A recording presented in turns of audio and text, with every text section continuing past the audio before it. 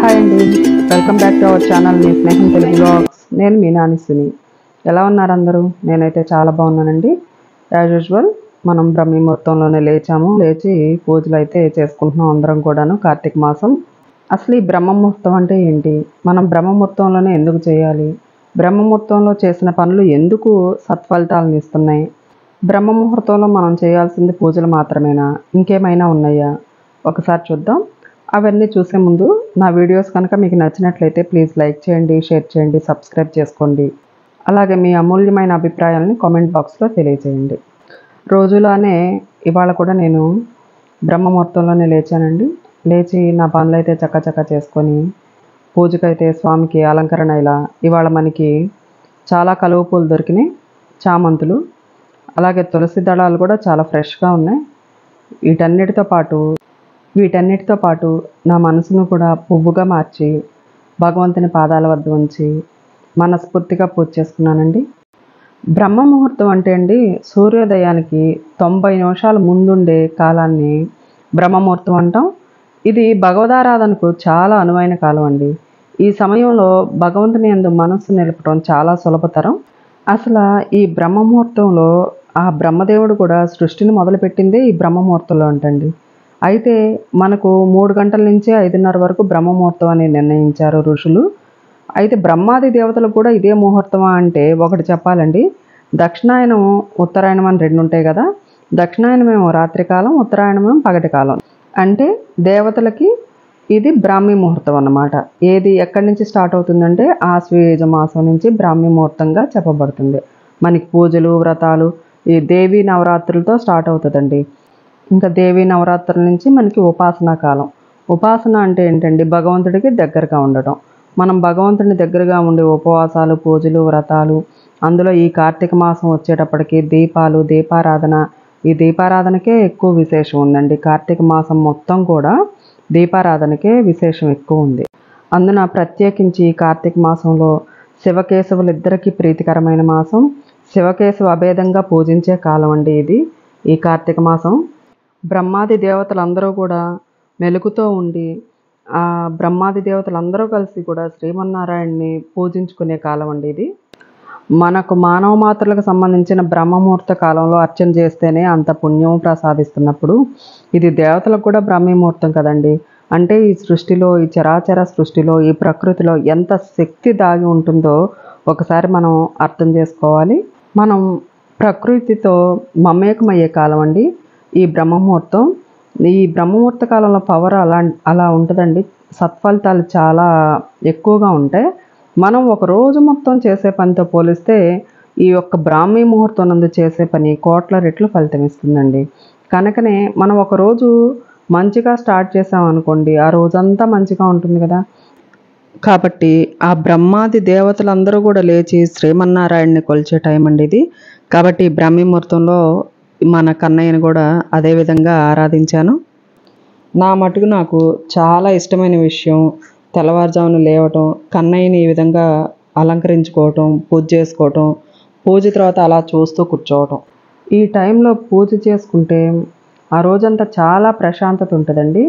అసలు ఐదు ఐదున్నర కల్లా కూడా పూజ కంప్లీట్ అయిపోయి మన రోజువారీ పనుల్లోకి మనం బిజీ అయిపోతూ ఉంటాం. అలా ఉంటేనే శారీరకంగా మానసికంగా కూడా ఉత్సాహాన్ని ఇస్తుందండి. తెల్లవారుజామున లేవటం అనేది చాలా మంచి విషయం.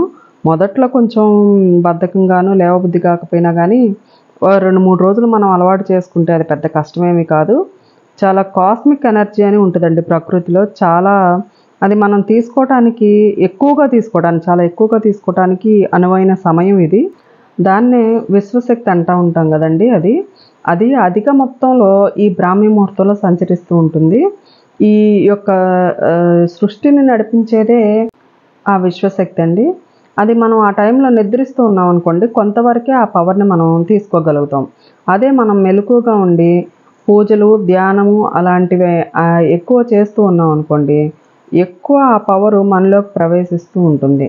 ఈ ఈ పవర్ అండి శారీరకంగా మానసికంగా ఉండే రుగ్మతలను పోగొట్టడమే కాదు మనం యాక్టివ్గా రోజంతా యాక్టివ్గా పనిచేసుకునే శక్తిని కూడా ప్ర ప్రసాదిస్తుందండి. అది చైతన్య శక్తి అంటారు కదండి. ఆ శక్తి ప్రకృతిలో ఆ టైంలో ఎక్కువగా ఉంటుంది. మనం ఎంతైతే తీసుకోగలుగుతామో అంత ఎక్కువ యాక్టివ్గా ఉంటామండి.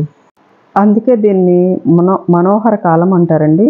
ఈ మనోహర కాలం మూడు గంటల నుంచి ఆరు గంటల మధ్యలో ఉంటుంది. అందుకనే నాకు హెల్త్ ఇష్యూస్ వచ్చినప్పుడు కూడా ఒకసారి అండి డాక్టర్ గారు సజెస్ట్ చేశారు మెడిటేషన్ చేస్తే కొంచెం త్వరగా క్యూర్ అవడానికి అవకాశం ఉంటుంది అని చెప్పేసి అని. మీరు ఇంతకు ముందు నా వీడియోస్ గమనించినట్లయితే నేను కింద కూర్చోవటానికి కూడా నాకు సౌకర్యంగా ఉండేది కాదండి. ఒక కొంచెం స్టూల్ మీద కూడా ఎక్కువసేపు కూర్చోలేకుండా ఉండేదాన్ని. నాకేమో రెండే రెండు విషయాలు బాగా ఇష్టం అండి. కింద కూర్చొని పూజ చేసుకోవటం కింద కూర్చొని భోంచేయటం ఈ రెండు విషయాలకి దూరం అయ్యేటప్పటికి హెల్త్ ఇష్యూస్ మూలన హోల్స్ పైన ప్రాబ్లం వచ్చిందండి. దాంతో కొంచెం ఇది డీజనరేషన్ స్టార్ట్ అయిపోయింది కొంచెం ఏమో ప్రొ ప్రొలాప్స్ అయిపోయినాయి. ఇలాంటి ఇష్యూస్తో చాలా ఇబ్బంది పడుతున్నా. అవి కూడా వాటి నుంచి చాలా ఎలా ఉంటుందంటే అది అనుభవించే వాళ్ళకే ఆ పెయిన్ ఎక్కువ తెలుస్తుంటుంది నిద్రలో కూడా అసలు చాలా ఇబ్బంది పడుతుండేదాన్ని అప్పుడు డాక్టర్ గారు ఇచ్చిన సలహా మీద ఓ మెడిటేషన్ సెంటర్కి వెళ్ళటం తర్వాత అక్కడ కొన్ని విషయాలు నేర్చుకోవటం మెడిటేషన్ ఎలా చేయాలి ఏంటి ఏ టైంలో చేయాలి అసలు ఆ టైంకి ఎందుకు అంత ప పవర్ ఉంది అంత ప్రత్యేకత ఏంటి అనేది అక్కడే తెలుసుకున్నాను. ఆ విషయాలు మరొక వీడియోలో చేద్దామండి. అయితే నాకు ముందు నుంచి తెల్లవారుజామున లేసి పూజ చేసుకోవటం అలవాటు. దాన్ని పూజతో పాటు మెడిటేషన్ కూడా స్టార్ట్ చేయడానికి నాకు అప్పటి నుంచే అవకాశం వచ్చిందండి. ఫైవ్ ఫిఫ్టీన్ ఫైవ్ థర్టీ కల్లా పూజ అయిపోతుంది. ఇంక అప్పటి నుంచి సిక్స్ సిక్స్ ఫిఫ్టీన్ వరకు కొంచెం మెడిటేషన్ అది మనకు ఒక టైం ఉండదండి. అది భగవంతుడితో ఈ ప్రకృతితో కనెక్ట్ అవ్వటం కదా. అది ఆ మెడిటేషన్ చేసుకున్న తర్వాత ఇంకా డే స్టార్ట్ అయిపోతుంది రోజువారి పనులు అది. ఆ మెడిటేషన్ మూలనండి సెల్ఫ్ హీలింగ్ బాగా జరుగుతుందండి. మనం ఎంత మందులు వేసుకున్నప్పటికీ కూడా అండి మనసు ప్రశాంతంగా లేకపోతే ఇవన్నీ కూడా జరగవు.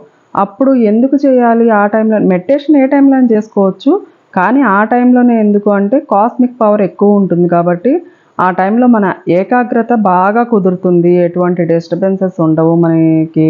దాని మూలాన మనం చక్కగా కూర్చొని కాన్సన్ట్రేషన్తో మెడిటేషన్ చేసుకోగలుగుతాము ఆ పవర్ని తీసుకోగలుగుతాము. హీలింగ్ ప్రాసెస్ అనేది చాలా కరెక్ట్గా అవుతుందండి. అది ఎవరికి వాళ్ళు ఎక్స్పీరియన్స్ అవ్వాల్సిందే. మెడిటేషన్ మాత్రం ఎవరైనా మంచి గురువు గారి దగ్గరికి వెళ్ళి మీరు నేర్చుకోవాల్సిందే.